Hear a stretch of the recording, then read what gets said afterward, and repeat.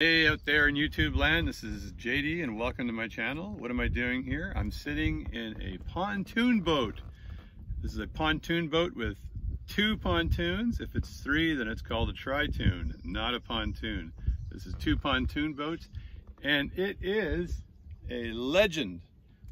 Legend Splash Cottage plus EXT. I don't want to screw that up. Splash Cottage plus EXT. So this is a beautiful, beautiful boat. I like to call it a vessel, but it's probably a boat, or maybe it's a ship, I don't know. So, but here's the console we have here. So we've got ourselves a steering wheel here, and it's adjustable steering wheel. You press the button and the steering wheel adjusts. It's amazing. So, and you press the button again and the steering wheel goes down to your comfort level. We have an AM FM radio with Bluetooth, so you can spit Bluetooth from your iPhone or any other Bluetooth device directly in here and we've got speakers down here and let's see if I can see these really fast. No, you can't. Let me look this way.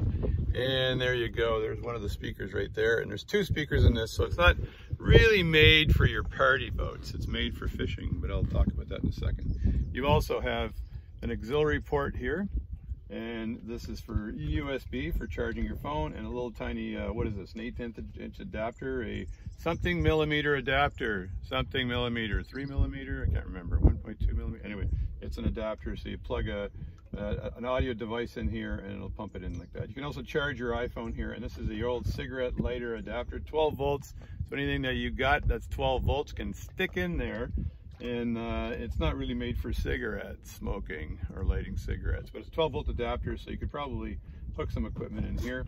And then if I go over to the top here in the console you can see what your your engine RPMs are uh, I get my engine up to about 6,000 uh, full out which is pretty good and you get the uh, the actual empty fuel empty full when I first got this it wasn't moving from full for quite a while I'm like oh my god it doesn't work so I was freaking out, so I brought myself an extra can of gas just in case I run out. I did not want to call the neighbor for a 911 on the lake. So over here is your voltage, your voltage. So this goes up to 12 or 16 or something. Anyway, two 12 volt batteries in the back. I'll show you those in a second. So that's your voltage. You want to make sure you got a good charge there. This is a Humminbird, Humminbird GPS plus fish finder plus depth gauge. It works really well. The sensor is on the sponson, AKA pontoon. I like calling them sponsons because I'm aerospace, but the sponson on the left-hand side or the port side, as you Navy folks call it, right? So, and so that that's down there. Also, this thing, this boat also has a live well. Here's a live well switch right here, right here, Jerry. So you click that and it fills the, uh, the, the live well up with water. I don't want to fix, press that button because I got my spare gas tank in there. Plus I got some other stuff in there. So you can stow other things in here. So in this boat, you hit exit. And so I'm at 11 feet right now and I'm off a beautiful little island. Let me have a look at that. There we go. It's a beautiful little island and I'm fishing off the end here. So there it is. And this uh, Humminbird gauge is not too bad. It shows you your depth and it's got your speed and it's got all kinds of other stuff. It also has a temperature. It's 65 degrees Fahrenheit out here, which is pretty freaking cold. And if you're looking out there, there's a boat passing me. Look way out there, there's another boat passing me. And he's probably saying, oh my God, he's got a nice boat. And there's all sorts of different view modes here uh, that you can click on this. And it also tells you what your track was for today. And you can press it again, double track, tells you all the places you've been on the lake. So, so that's I'm going to turn this off so it doesn't draw any power. And I also had the stereo on, so I'm going to turn that off so it doesn't draw power. And so while I'm here, there's the throttle. So here you've got your your engine tilt, so up and down. So if you start ripping some good speed here, you got to move this up until it actually feels nicer. So the nose goes up a bit and it cuts through the waves nicer, but you actually feel when the engine is performing better with the nose up. So that's the uh. You also have the throttle only button. You can press that and you can push this forward and it'll run the engine without actually engaging the prop and pushing you forward, which is nice. And then there's a safety down here. This little red jobby do thingy hickey is a safety. That's the throttle only in case you didn't see it from my video before. And then you've got the key and I got it off right now. And there's a, a, button under here for your throttle. You press that and bump it forward. So it also has the captain's drink container holder, captain's drink holder. We're up here in Canada, so no alcohol allowed in the boat, period. Unless it's got a permanent bathroom, which just doesn't. But this does have, let's just go in the back here. I'll go in the back first. So there's a view of the boat here like that. There you go. Look at this thing. It's a thing of beauty, right? So let's go in the back first and try not to drop my camera in the water. So you've got, uh, let's see here, you've got a seat, a beautiful L seat here with a dining room table or a lunch table that rotates for drinks and stuff and plenty of storage under here. I'm getting hit by Buddy's waves because he just came by. And then you've got another area over here where you've got some storage. And today, a surprise from my wife today, she said, hey, I think you need a fly swatter. So I've got a fly swatter here. I'm, I'm getting hit side on with these waves because this boat is normally really stable, but I am, you know, front on, but I'm getting hit side on. They'll be over in a second. So there's that beautiful island. So if I walk to the back of the boat, what do I have? So let's look down here. So here's where the batteries are. So I've got myself dual batteries, dual batteries. So there are the batteries and I've got a big ass battery switch here. I've got it on two. When you're running the boat, put it on all to charge both batteries. When I'm on the radio, I put it on two, so I'm only draining one in case I have to start the boat and I'm not screwing myself. So there we go. That's the batteries and the charger. And this is slightly off. I'm gonna have to adjust this a bit. And there's the fence and the gates, and they've got a gate, gate locks like that. And I've got a full ladder back here that folds down. Uh, 65 liter gas tank, which lasts quite a long time. My youngest kid says, hey dad, that's the same gas tank I have in my car. Amazing. So this is a Mercury, Mercury 90 horsepower which is plenty for this boat. It'll take 115, but I went decided to go 90, so I didn't spend tons of money on gas. But it's a 90 Merc with a command thrust in the bottom. So that command thrust, effectively, the command thrust is a heavier gearbox on the bottom of the boat, and that heavier gearbox allows this thing here to push a pretty serious, seriously heavy boat. I think this is like 2,500 pounds of boat, so it's not like massive, but it's uh, it's uh, pretty heavy. And then over here, like I said before, you got your live well. You got your live well. Yeah, it's like Haney from Green Acres, if you guys remember that. But here's my live well. So if I push that live well button, it's going to fill this up with water. so if you're catching fish, you'd put them in there. And I, I kind of catch, I catch and release. I don't eat the damn things. I'll come home and then, or go home and have a steak. So fish, catch the fish, be all proud, and go have a steak. So there's some gas in there right now. That's this is a live well it's perfect. You can store things in there, or if you want to put drinks in there and turn on the live well, you can do that too. So here we've got the Bimini up here. This is Bimini, Bimini Cricket, Bimini Cricket. The captain's chair also has armrests, beautiful armrests. This thing is super comfy. It's a super comfy captain's chair. Let me just get a good view of it here. There we go. And it's uh, got the armrest and the swivel on it. And it's, so up top here, I've got the, uh, that's legend. So it's got the white light in the top for evening navigation. And then, as I said before, if you move up to the front here, I've got a change room. So if I just pop, reach down here and pop this open, there's a change room. And there's the change room. It's nicely tucked in there. I'm not going to take this out. But if you got people that are embarrassed and don't want to go down to their skinnies, they could go in the change room and change into their suit of bathingness. So there's a picture as we go to the front of the boat or the stern and the bow for you Navy people. This is the bow, that's the stern. Or is it the other way around? Is that the bow and this is the stern? No, stern's the back. Anyway, there's some fenders here that I hang off the end here and this is, these are really comfy, uh, well textured couches here. Somebody sit down on this one here, close the gate quickly and then I'll just sit down and relax for a sec. There we go. So there it is.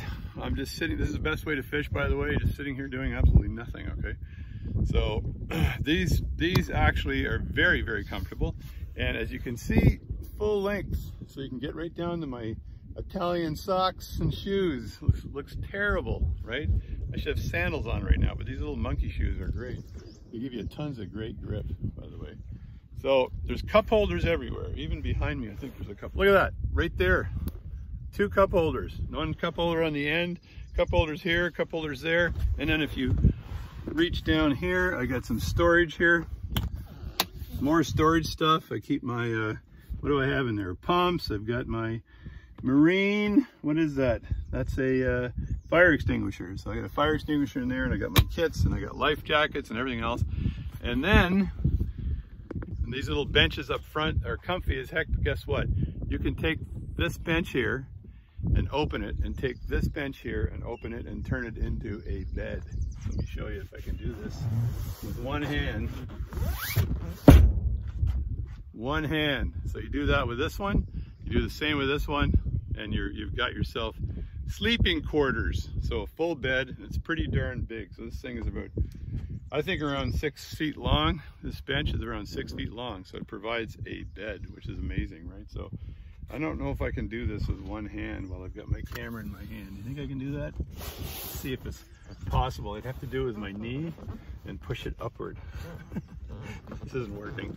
Oh, I know what I can do. If I hold the camera like this, while I hold the front and then push it with the back. Come on, do it. Come on. Almost had it. Come on. This is the exciting part of the video. Come on. We're good. What I didn't want to do was drop my camera into the water and, and go, damn, that would have been bad. So there we go. So in the front, if I move to the front here of the vessel, I like to call it a vessel. I think if it's over 12 feet, it's got to be a vessel. It's under 24 feet, so it's not a ship. So here we've got seats. I got my little fishing gear down there. So I got a rod holder on the front there. So on the bow, there's a rod holder with my fishing rod and these seats are great. So these are swivel seats and they fold down like that. They're completely waterproof and fold up like that and they're comfy as hell. So I got about probably a boot as Americans say, as Canadians say. I got about, I think four feet of deck here. If you look down like this, you're gonna see around four feet of deck in the front for fishing.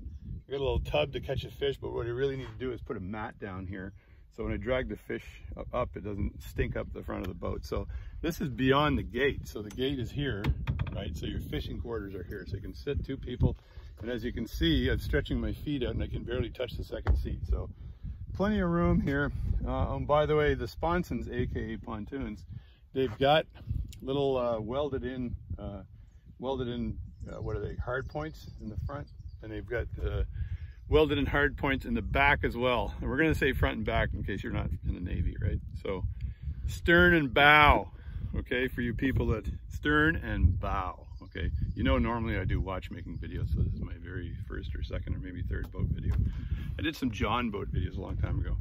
So this is the boat, um, or ship, or vessel.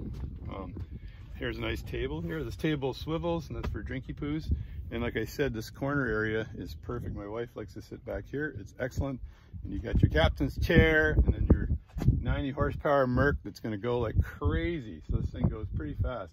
It goes around 25 miles an hour, which is good enough for a pontoon boat. And I think if once you've turned, I'm over 60 now. So once you've turned 60, you got to get yourself a pontoon boat. Forget all those other boats, okay? Those other boats are great. They rock around. This is a living room in the water. So regulations, I got all the licenses and everything I need for this thing.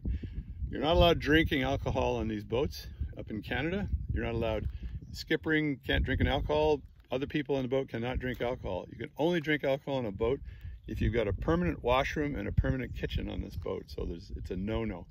However, if you tie the boat to your dock, you can drink yourself silly. Just try not to keep the keys in the boat. It's not a good idea, but you can have drinks. So you have a living room on the end of your dock, basically, right? So, which is really good. So, so that's it. This is the uh, Legend Splash Cottage plus EXT pontoon boat. What a beautiful fishing rig and what a beautiful boat. And that's my review for the day. Thank you very much. I hope I didn't miss anything and I'll see you next time. One more note, one more thing I forgot here. The Legend boat, that's the white light for navigation, and this is the Bimini.